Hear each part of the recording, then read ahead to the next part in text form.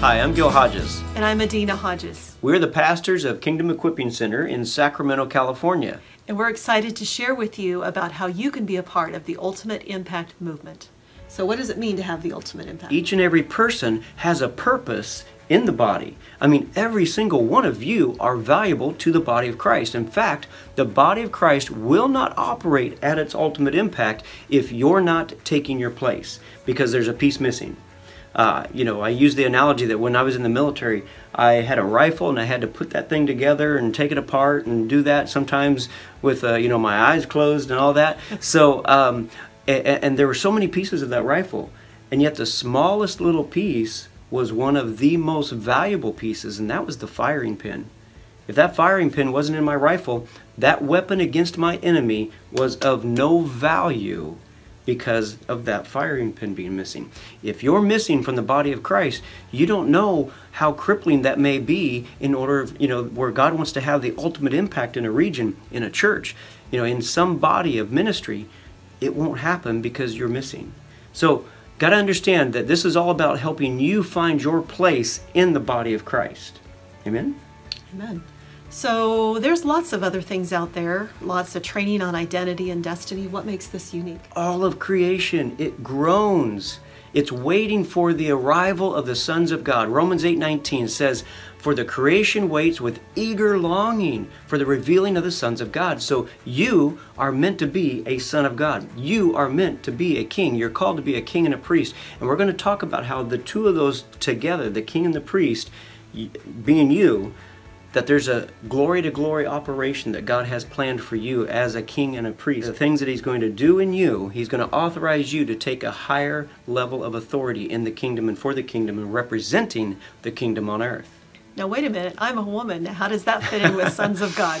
Well, you know what? If the men can be brides of Christ, then the women can be kings and sons. So it's really not gender exclusive. It's everybody who is a mature person, a mature Christian that God is looking for because He wants to basically help you understand that as He grows inside of you, because we are the temple of the living God, as the Holy Spirit grows and, and, and, takes over more and more of, of us in the sense that we are willing to lay more and more down, then he will be releasing more and more power for us to operate and bring heaven to earth. And that's what we're looking for. That's what the, the earth is groaning for. It's like, please bring heaven to earth. And I'm waiting for you guys to get your acts together because He's waiting for you and me to become mature sons of God and kings with authority so that we can begin to bring heaven to earth.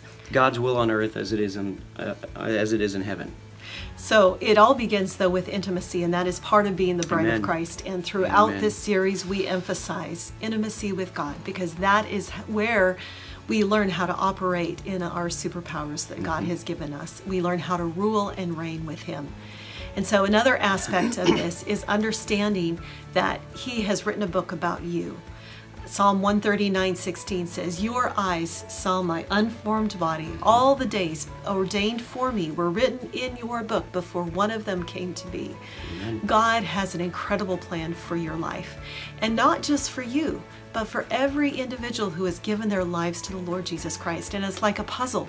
We all fit together as That's one. Right. Right. And so, our passion and our heart is for you to know deeply how much you are loved mm-hmm. and how you were created to, uh, to fit within the puzzle to accomplish God's purposes. And see, there are so many other scriptures that we are going to share with you about how to discover what is in that book because when you can begin to read that book, when people are prophesying over you, they're reading from your book because God has already written out a destiny for you.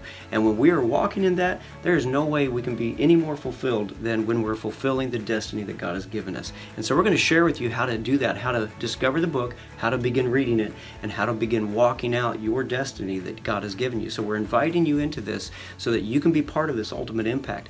In fact, we need people all over the world to be coming into this place of sons and kings so that we can begin changing the earth, bringing the will of God to the earth. And, and that's just a powerful thing. Amen. So you were created for impact. You may think right now, well, my part is so small, but believe me, as you come to know the treasure that God created you to be and the power that He placed on the inside, you're going to see the plan that God has for you. God created you for relationship and impact, both of those. Sometimes we get stuck on one or the other. We go, oh, it's just about me and God. We have a nice, nice lovely time. Or about, I got to do this, do this, do this, and we get into striving. Right. But right. the two have that. to fit together. Mm-hmm. And so your greatest fulfillment comes when you step into your destiny and walk out the book He wrote for you. This is an opportunity for you to join with others on this exciting journey to have the ultimate impact as the body of Christ. And this is something that we do together. We have to do it together because we need one another to be encouraging one another to rise to these new levels of, uh, you know, we're going to rise into new levels of depth in Jesus Christ. so that's just the way it works. It's the dichotomy that we see all over in Scripture sometimes, where you know you, you got to be first or got to be last to be first, and you know so many different things. Where the economy of heaven is different. It's so much different than the way we think. But we know that we need each other in order to rise to that place where we are able to give up everything to have the Lord Jesus Christ fully engaged in us without us getting in the way so that he can operate through us to bring his will from heaven down to earth. So the spiritual realities that we're looking for are, are something that we want to make real on the earth. So learning how to activate heavenly realities into the earth is something that you'll learn in this in these uh, um, uh, courses and signs, wonders, miracles through intimacy and sonship.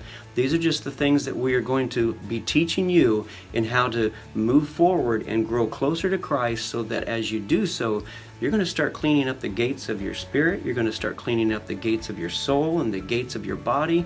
They're going to be purified by the blood of Jesus. You're going to be walking in full power and authority, and we will see the kingdom of God manifested on this earth through what we're calling ecclesia, which is family doing kingdom business.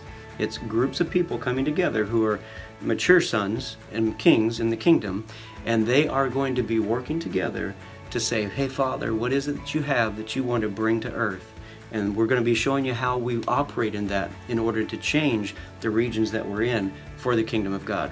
And then learning to rule and reign as mature sons of God. That is where we're headed.